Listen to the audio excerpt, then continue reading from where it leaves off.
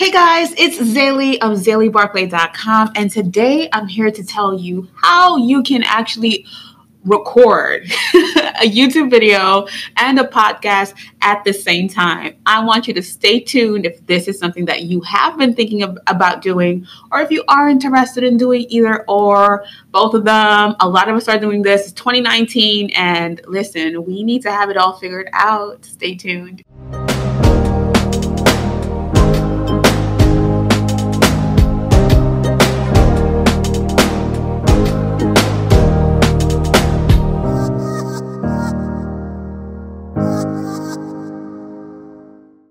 Okay, guys, so there's a few reasons why you might want to do this. We all know that there are different platforms, people ingest content differently. You know, I might like Facebook or I might like YouTube, or, you know, so you want to make sure that basically you're able to kind of kill two birds with one stone and not have to record about the same topic twice if you have a podcast and if you have a YouTube channel, or if you're able to just streamline that process hey, why not? So today I'm doing this using Anchor. So I actually have my setup where I'm editing over here. I actually have my microphone over here and I have my laptop in front of me over here and my camera directly in front of me. And so I'm able to actually record my audio in Anchor and use it for my video as well and still place that audio on a different platform.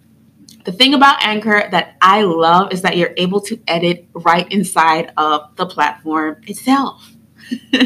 so if you have not thought about podcasting or if you have not thought about using Anchor, I will drop that link below so that you can see what that is all about. It's the easiest way to podcast. Listen to me. If you are not using Anchor, definitely do. There are they have the application and they have the desktop program. I used to use the application, the phone application, but now I love using the desktop program because you're able to do awesome stuff like this. Like I said, kill kill two birds with one stone. I'm super excited That's why I'm talking so quickly.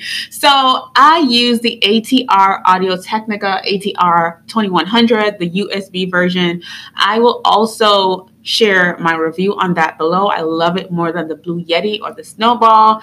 And so in using that, I'm able to actually just, you know, create with ease and directly into Anchor through my computer. And then I'm able to download whatever I recorded and add it as a clip in my audio. So what I'm going to do is show you how I do that. I'm going to give you a little back end insight on um, what I do, and then you can see how you can do that yourself. Okay, guys, so we are inside of Anchor. So this is what the back end or desktop of Anchor looks like. And so you are able to head into a new recording, right? And record a new segment. And then you're able to choose whatever microphone that you want to use. Like I said, I love using this ATR Audio Technica 2100 microphone. And you can definitely change your microphone as well then what you would do is you start recording. And when you start recording, I'm actually not going to record right now because I'm actually using this microphone and I don't want anything to go crazy on the back end. but you are able to start recording. When you're done recording, what's going to happen is they are going to let you know it's done and your library is going to look something like this. So you can see that I've been recording all day.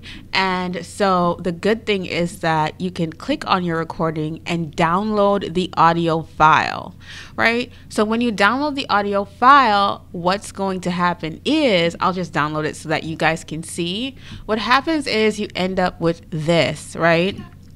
So you end up getting a link, and that link guides you to where the audio is stored on the web.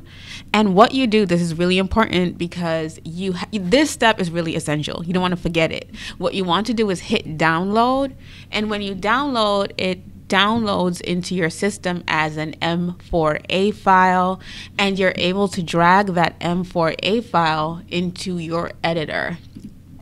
So, like I said, I'm using Final Cut Pro to edit, and so I'm going to drag my content directly from there, right? So, this is it. I'm going to drag it into Final Cut, and that way I can match it up in Final Cut um, and put it exactly where it's supposed to be, I will show you actually how I uh, match. I have a video on how I do that, on how I match my external audio to my video. I will link that down below so that you can do that and walk through that process as well. The beauty of it is I'm able to go onto the phone app and edit this episode as if it's a podcast with the same high quality audio or I'm able to use it in my video.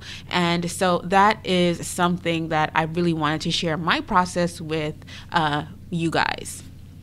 Okay, guys, so I hope this was helpful for you if you are thinking about starting a YouTube channel or if you are thinking about, you know, using your podcast, uh, sorry, your YouTube content on your podcast, like I said, kill two birds with one stone. I want you to let me know, like, what kind of, what, what's your favorite platform for ingesting content on and what platform probably inspires you the most for me what do i love using i love looking at things on YouTube and on Facebook, and I love using both of them for business as well. You guys know that I have the Start Shoot Grow Video for Business Academy at startshootgrow.com. For if you are an influencer, if you are a course creator, if you are a coach, and you have not been using video in your business just yet, I teach you how you can do that. I teach you all my processes, I streamline everything for you so you don't have to kill yourself or bust your brain thinking about how you're able able to just get on camera, kill it, sell your products and services,